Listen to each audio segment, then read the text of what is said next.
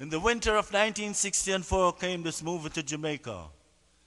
The Skatalites took the music from the movie, put it to the ska, and came up with this sound. It's called Bye! Bye! Bye! Bye! Bye! The Guns of Navarone.